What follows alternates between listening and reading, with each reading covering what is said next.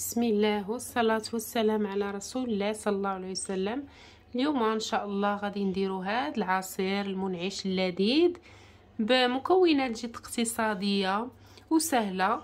نتمنى يعجبكم وتخليو لي الراي ديالكم في الكومنتير بلا ما نزيد نطول عليكم. فرجة ممتعة. نبداو على بركة الله. هاد العصير ساهل مهال ومنعش.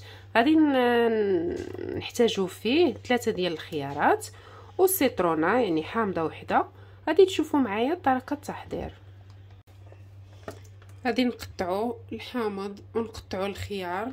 غادي نزيد عليهم ثلاثة المعالق ديال السكر و 7 غرام ديال فانيلا اولا ساشي ديال سكر فانيلا. وغادي نجيبوا الخلاط.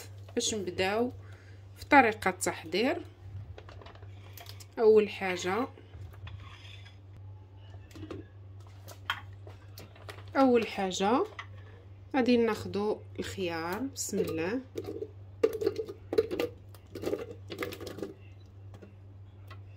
ونزيد عليه الحامض.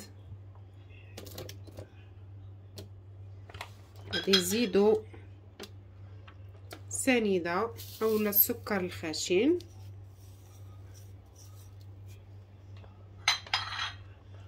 ونزيدو سكر فانيلا سبعة غرام.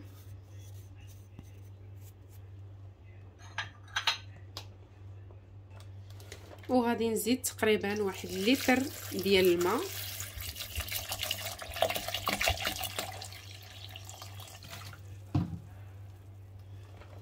وغادي نزيدو ياغورت بنكهة ال pistache اللي كيزيدنا واحد اللذة لهاد الياغورت لهاد العصير.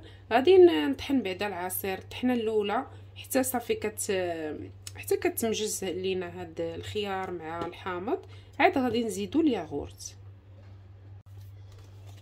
فاش طحنا الطحنه الأولى طحن لينا داك الخيار مع مع الحامض. غادي نزيدو ياغورت بنكهه البيستاش اللي كيزيد يختر لينا حتى العصير وكيعطي واحد المذاق لي لذيذ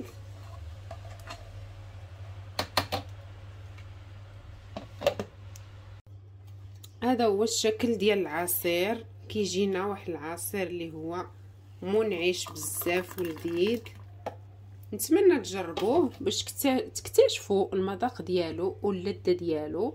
بلا ما نزيد نطول عليكم بالصحة والراحة ونتلاقاو فيديوهات أخرين قناتكم سامية فود. إلى الملتقى.